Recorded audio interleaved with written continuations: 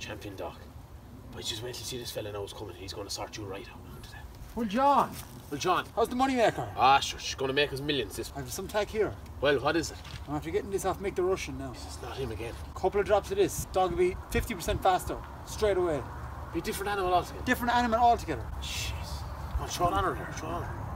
That's it, that's it. We'll be playing up now in Clonmel, we will go. We'll go for the tail. Right, right. Let, let it work its magic now. Throw her into the box, though. Throw into the box. Let it work its magic.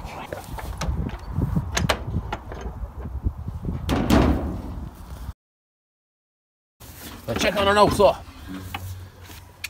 Oh, jeez. What you after doing to me, dog? That Mick the Russian. Jesus.